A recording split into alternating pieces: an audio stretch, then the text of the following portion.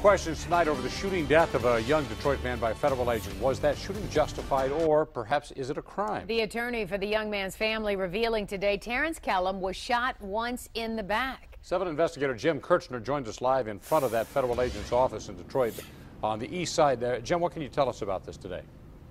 The agent involved in this is with ICE. He is Mitchell Quinn. He remains on administrative leave, and there are three investigations associated with this case. First off, an internal federal investigation into procedures. Then, Detroit Police, Michigan State Police conducted a criminal investigation, and the third review is independent of all of that by the Wayne County prosecutor.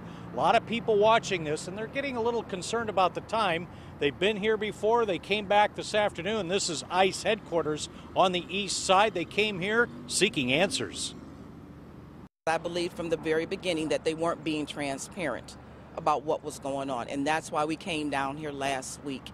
And that's You're why we're here here today. It happened on April 27th here on Evergreen on Detroit's west side. Terrance Kellom was being arrested by the fugitive apprehension team when police say he ran at a federal agent with a hammer. Kellom's family disputes that. ICE agent Mitchell Quinn shot several times and killed Kellom. Kellom was a suspect in an armed robbery of a pizza delivery man. He was shot in the back. Yes. He was shot in the back. Yes. The Kellom family attorney says he saw the body at a funeral home and took pictures. The autopsy has been sealed by the Wayne County Prosecutor's Office, saying its release could impede the investigation. If this was an open and shut case, that this this uh, explanation of the officer that he was coming at him with a hammer, that makes no sense whatsoever. So they're going to have to come up with something else. Detroit police and Michigan State police conducted the criminal investigation, turned over their findings on Wednesday.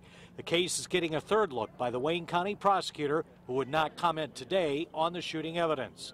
The attorney for Agent Quinn says he has not seen the Kellom autopsy, but said it is possible Kellom was shot in the back as he fell. And the Kellom family attorney is trying to manipulate this. Detroit has officers on the fugitive team and is part of the criminal investigation. I'm not going to pass judgment, uh, but we know when a person is shot several times, there could be wounds to the front, there could be some to the back, just depends. I'm not going to go into this. Our community leaders say they are running out of patience and this should be wrapped up within a week, but the Wayne County Prosecutor's Office will not put a timetable on this. I'm live on the east side, Jim Kiertzner, 7 Action News. All right, thank you much, Jim. The